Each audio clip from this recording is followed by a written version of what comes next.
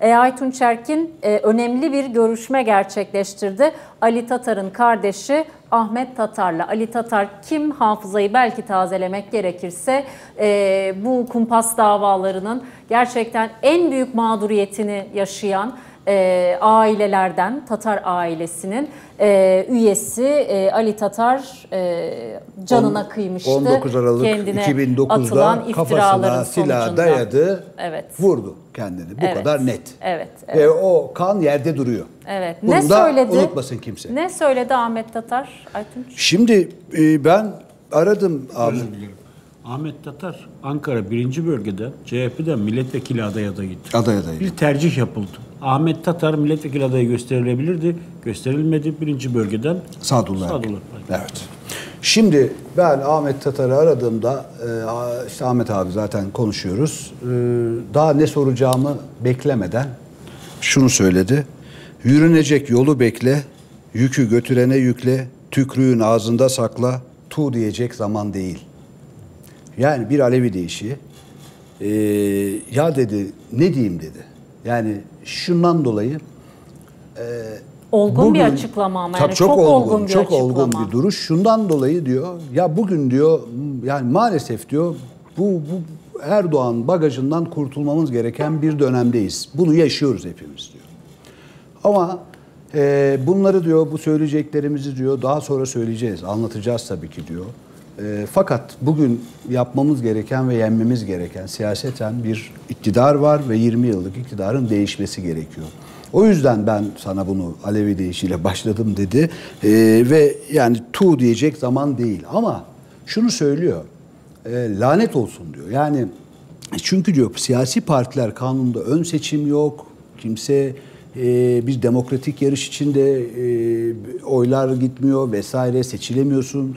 E, parti liderlerinin iki dudağının arasındasın vesaire. Ama e, şu cümlesi beni etkiledi. E, bağrıma taş bastım ve benim gibi çok kişi bağrına taş basıyor. Biz bu, bu isimleri biliyoruz ve bu isimlerin kimler olduğunu, e, neler yaptığını biliyoruz. Yani burada e, tabii ki sadece sorun Sadullah Ergin sorunu değil. Yani Sadullah Bey'in e, o dönemki e, Adalet ve Kalkınma Partisi içinde Fethullah Gülen e, adı, o zamanki adıyla cemaati, terör örgütüyle olan AKP cemaat ortaklığının bir ürünü Sadullah Ergin ama baştan aşağıya kadar bir bütünlüklü siyaset, siyasi ayağının ortaya çıkarılması gereken bir süreçte hiçbir şekilde dokunulmamış bir süreç var.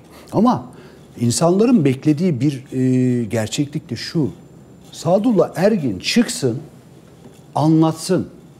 Desin ki biz bunları yaptık. Evet geçen gün bizim Saygı e, Öztürk'e, Saygı abiye Ankara temsilcisi bir röportaj verdi vesaire işte. Ama üstü kapalı.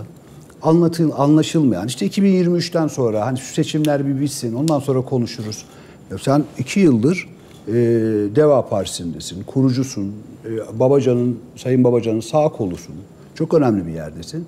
Ve bugüne kadar ağzından senin bu Adalet Bakanı olduğun dönemle ilgili e, ve o kumpasların yaşandığı dönemle ilgili en ufak bir cümle çıkmadı. Çıkmıyor. Bakın. E, ve ben en sert eleştirileri Sözcü'de e, ben yazıyorum. E, İsmail Saymaz yazdı. Diğer arkadaşlarımız yazıyor. İlhan Cihaner zaten yani bunun en büyük yani tanığı yaşadığı yani neler yaşadılar. E, Birisi kafasına silah dayayıp intihar ediyor.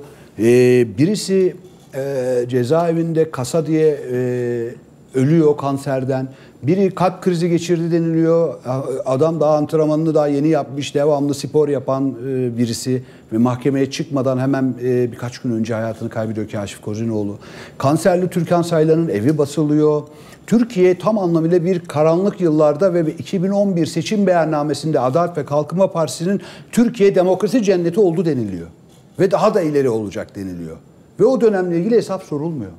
Şimdi burada iki konu var. Bir, Sadullah Ergin'in oraya ısrarla e, aday gösterilmesini, Babacanlar niye bu kadar ısrar ediyor? İki, neden Cumhuriyet Halk Partisi kendi duyarlılığını ve tabanındaki duyarlılığını hatta yönetimindeki duyarlılığını yansıtmıyor ve buna itiraz edemiyor. Burada e, sonuçta Ee, kimsenin kişilik anlamında Sadullah Ergin'le bir sorunu yok. Kişisel bir kavga yok ortada zaten. Bu bir ideolojik bir kavga.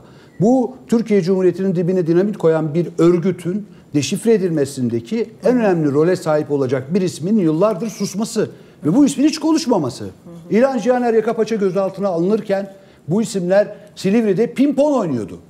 Nasıl oluyor? Gidip cezaevine geziyorlar, pimponlar oynanıyor. Orada çok rahat bir şekilde Türkiye'de bir sorun yok deniliyor. Ha meşrikler kitap yazıyor, kitap dokunmaya ne olacak diyor. Kitap diyor bombadan daha tesirlidir diyebiliyor.